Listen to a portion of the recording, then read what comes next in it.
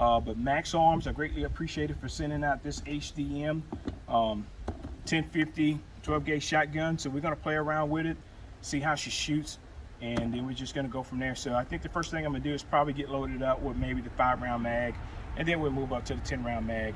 So guys, stand by. We're gonna see how this 12 gauge run. I like 12 gauges by the way. So, all right, stand by. All right guys, so we got the five round mag loaded up. The 10 round mag is loaded up in the gun, so we are getting ready to fire. So I'm gonna try this 10 round mag out first. I know a lot of companies have problems with 10 round mags, but let's see how this company does with this 10 round mag. So safety is off. And let's rock and roll.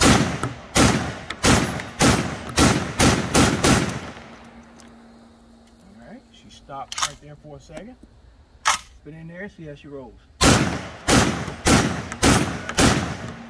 I like that. So,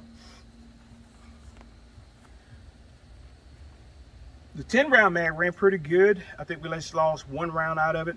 Um, so what we're gonna do, we're gonna be firing again just to see if that was just a fluke. Now I will say this, a lot of people say we're supposed to shoot high brass with this. Um, I'm not shooting high brass, so that's probably what the issue is.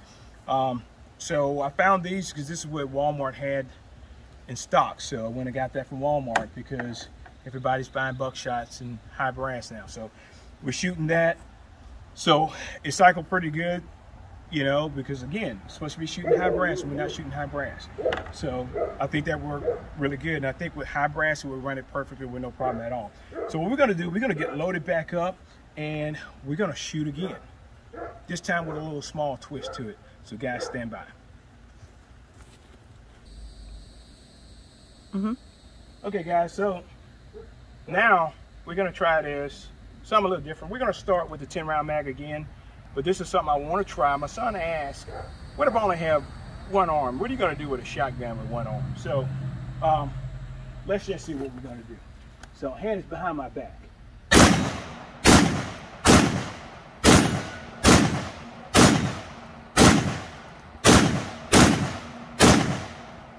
All right, that's empty. So get this, that's out. Take my gun. Now what we'll do is try to see what's going on.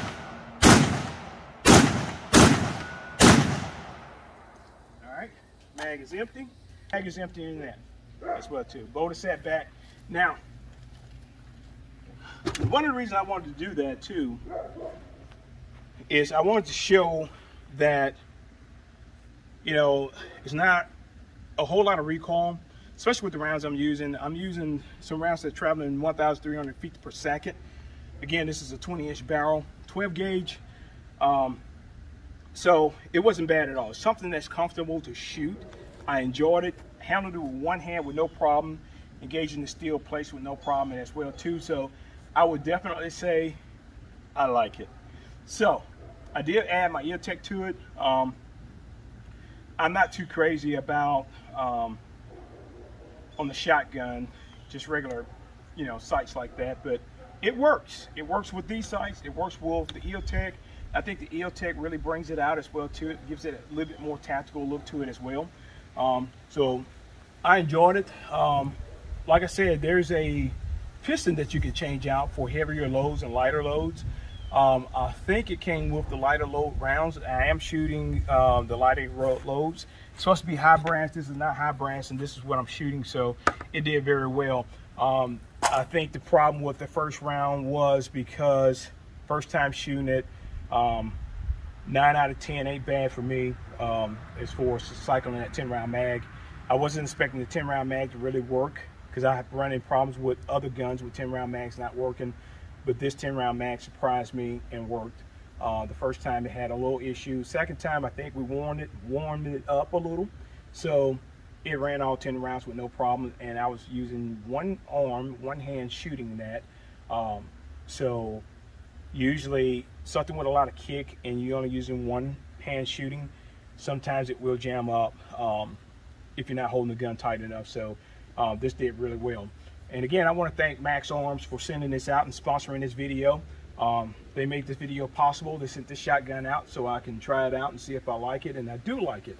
So I will be adding one to my collection, and I love the grip. It's got a whole tight grip on it. It's plastic. Real easy on your hands. I like that a lot. I love it. I love it. It's soft, soft to your hands. I have rough hands anyway, but um, got your sling loops right here. Um, so, you know, I'm not a fan of adding slings to my guns. Um, I'm just not. But at some point, somewhere down the line, I may add one to to the gun.